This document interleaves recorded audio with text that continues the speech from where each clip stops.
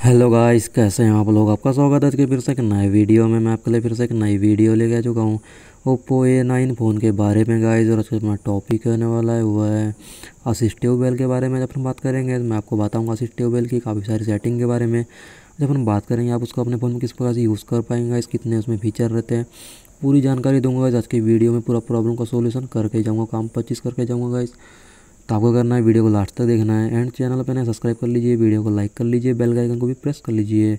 अपन चलते हैं फ़ोन की सेटिंग में और बात करते हैं इसके टॉपिक के बारे में। सिंपली देखिएगा सेटिंग में चले जाना अपने फ़ोन की। यहाँ पे आपको देखिएगा, इस ऑप्शन मिल जाएगा सबसे नीचे में सिस्टम सेटिंग का आप इस पर क्लिक करेंगे। यहाँ पे आपको देखिएगा असिस्टिव बेल का ऑप्शन मिल जाएगा सिक्स नंबर पे। One two three four five six इसको आप क्लिक करेंगे सिंपल तरीके से।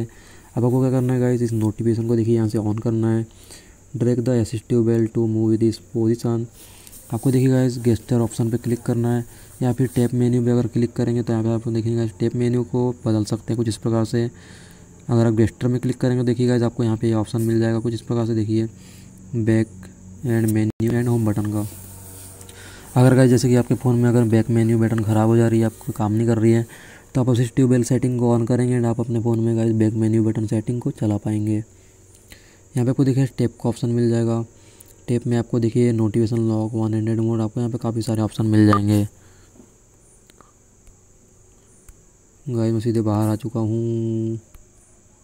अपन चलते फिर से असिस्टिव बिल के अंदर। और बस गाइस बस इसी थी ओ पी आप इसको बढ़ा सकते हैं, साठ या बीस या तो हंड्रेड परसेंट रख सकते हैं। आप इसको गाइस फुल स्क्रीन में भी रख सकते हैं। तो ये थी गाइज़ आज की असिस्टिव बेल सेटिंग कैसे लगी ज़रूर बताइए। मैं आपसे मिलता हूँ नेक्स्ट वीडियो में नए टॉपिक के साथ। तब तक बाय बाय